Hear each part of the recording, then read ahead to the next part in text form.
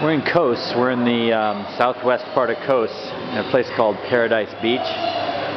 It's down on the road towards Kefalos, about almost about an hour away from Kos town, the main port.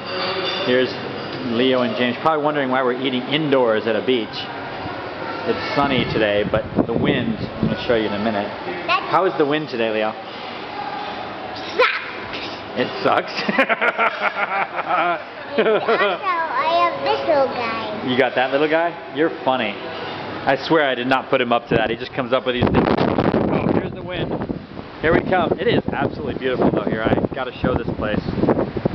It's absolutely beautiful here. It's Leo, but it's got this sucky wind. It's like, I don't know how many miles per hour it is. I'm gonna say 40 or 50. It's so blustery that, I mean, it's sunny and probably the temperature is, I don't know, 70 something, but the winds are so blustery that not very pleasant sitting out on the beach. You can tell. There's almost nobody on the beach, right, Leo? Daddy, Yeah. can, can we see the video?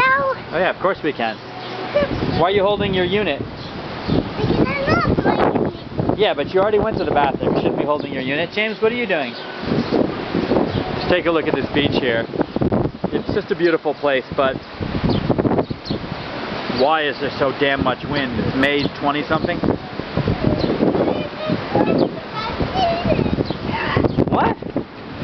What? Did you say? Nothing.